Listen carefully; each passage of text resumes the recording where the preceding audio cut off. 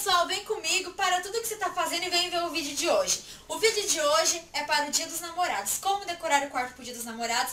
Muito fácil, você não vai precisar de gastar quase nada. E você vai usar apenas isso aqui que eu vou falar para vocês, ó.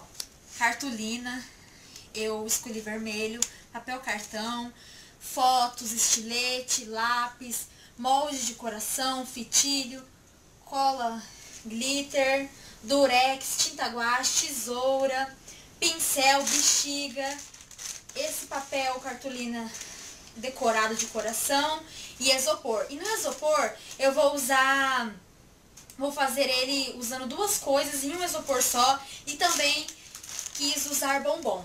Fica a critério de vocês se você quer usar bombom.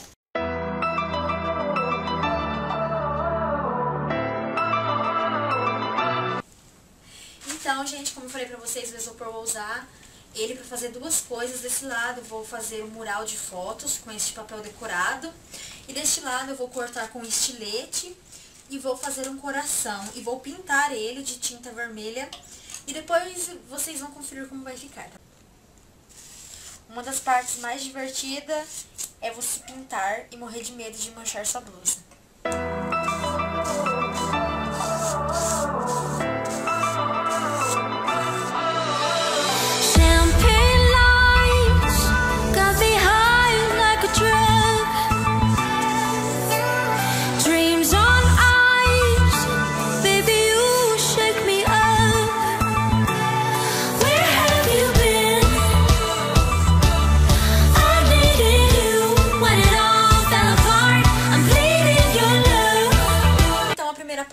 Eu vou começar fazendo os coraçãozinhos, como vocês podem ver aqui.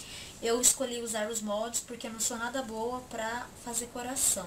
E com os moldes dá uma ajudinha melhor, né, gente?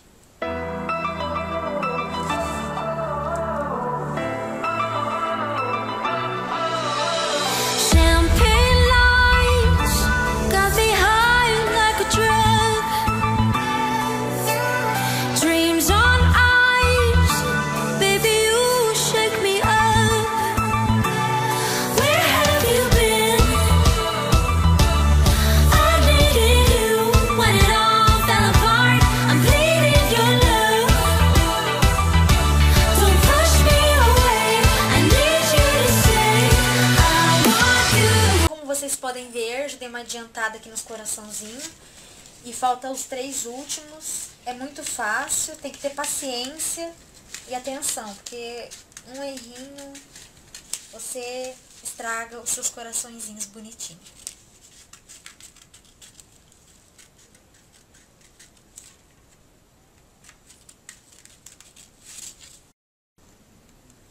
Vem comigo ver o resultado do quarto e como ficou ele enfeitado. Vem! Aqui, ó, eu usei bexiga e fitilhos, ficou alguns maiores, outros menores, mas aí fica do jeito que você quer, você que escolhe. Como vocês podem ver, eu coloquei bexiga no chão, pendurado na, na porta do quarto, do guarda-roupa. Coloquei na cama, usei, usei bombons, peguei algumas fotos e fiz um mural. Foi simples, mas essa foi a intenção, de fazer alguma coisa simples, que não fosse difícil e não ficasse caro.